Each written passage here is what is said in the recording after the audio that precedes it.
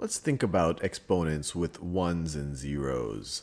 So let's take the number 1 and let's raise it to the eighth power.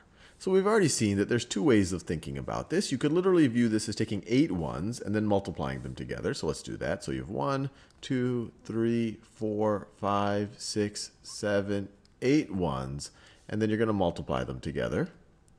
And if you were to do that, you would get, well, 1 times 1 is 1 times 1. It doesn't matter how many times you multiply 1 by 1, you are going to just get 1. You are just going to get 1. And you could imagine, I did it eight times. I multiplied eight ones. But even if this was 80, or if this was 800, or if this was 8 million, if I just multiplied one, if I had 8 million ones, and I multiplied them all together, it would still be equal to 1. So 1 to any power is just going to be equal to 1.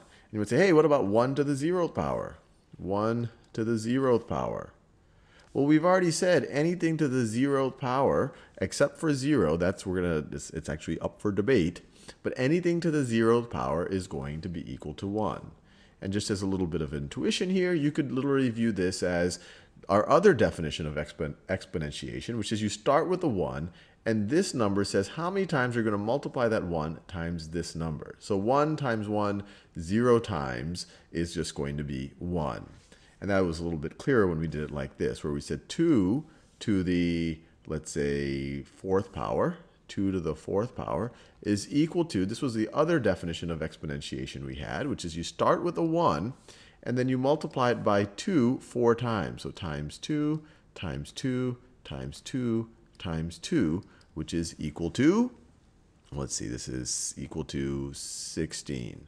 So here, if you start with a 1, and then you multiply it by 1 0 times, you're still going to have that 1 right over there. And That's why anything that's not 0 to the 1 power is going to be equal to 1. Now let's try some other interesting scenarios. Let's start try some negative numbers.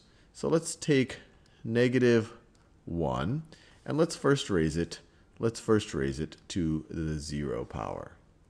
So once again, this is just going based on this definition. This is starting with a 1 and then multiplying it by this number zero times. Well, that means we're just not going to multiply it by this number, so you're just going to get a 1.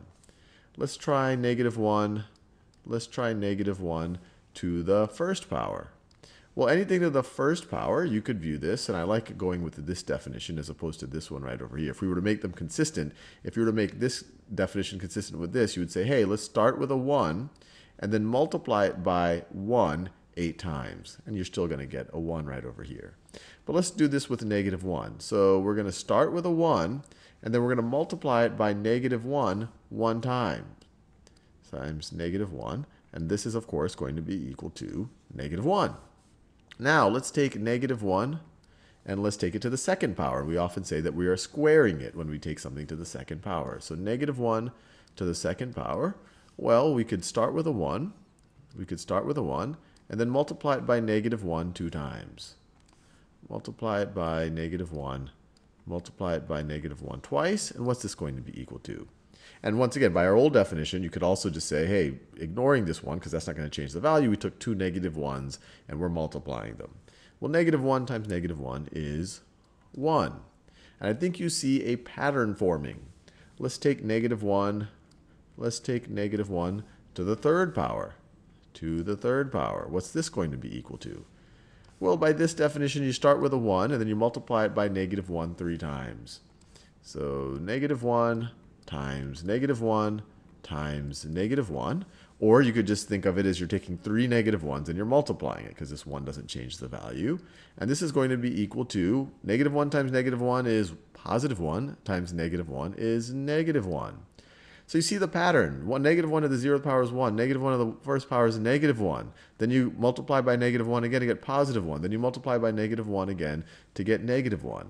And the pattern you might be seeing is, is if you take negative 1 to an odd power, to an odd power, you're going to get negative 1.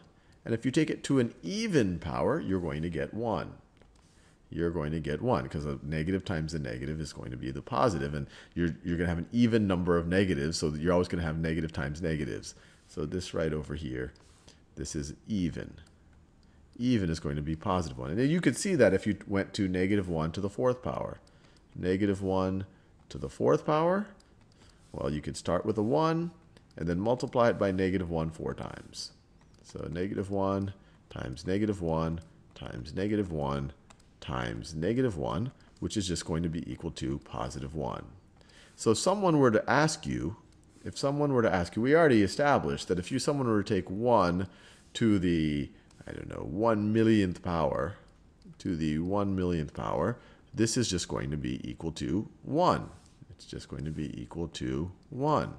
If someone told you, let's take negative 1 and raise it to the 1 millionth power, 1 millionth power. Well, 1 million is an even number, so this is still going to be equal to positive 1. But if you took negative 1, if you took negative 1 to the 999,999th power, this is an odd number. So this is going to be equal to, this is going to be equal to negative 1.